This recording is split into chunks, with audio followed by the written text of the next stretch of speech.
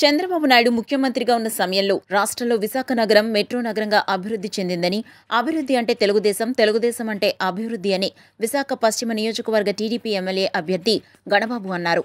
గోపాలపట్నం నూకాలమ్మ అమ్మవారి దేవాలయంలో పూజలు నిర్వహించి అమ్మవారి దీవెనలతో గోపాలపట్నం ఎన్ఏడి ముర్రిపాలెం మీదుగా జ్ఞానాపురం చేరుకుని ఎన్నికల అధికారికి గణబాబు నామినేషన్ పత్రాన్ని దాఖలు చేశారు.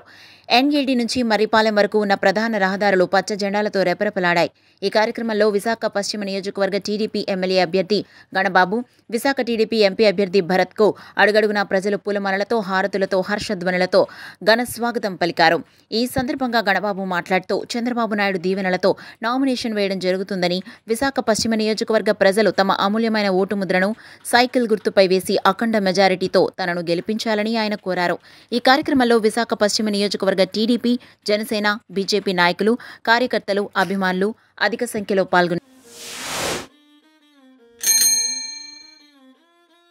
జోనల్ కార్యాలయానికి విశాఖ పశ్చిమ అసెంబ్లీ నియోజకవర్గ అభ్యర్థిగా భారతీయ జనతా పార్టీ జనసేన తెలుగుదేశం పార్టీ ఉమ్మడి అభ్యర్థిగా నామినేషన్ వేయడానికి వెళ్తున్నాం.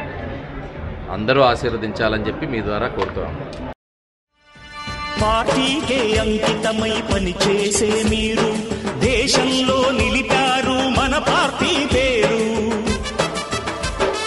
మారుమూల గ్రామమైన మహానగరమైన బాధ్యతతో క్రమశిక్షణతో మెలిగారు. ఆశయాలు పండించే జీవనదులు మీ సేవలు మీరే మన రాష్ట్ర ప్రగతి సౌధాలు. శక్తికి కోటి రెట్లు మీ శ్రమ శక్తి. ప్రజలకు చేకూర్చనుంది సుఖము శాంతి. నందమూరి ఆశయ రథ సారథ్యం మీదే. చంద్రబాబు స్వర్ణాంధ్రకు నిర్మాణ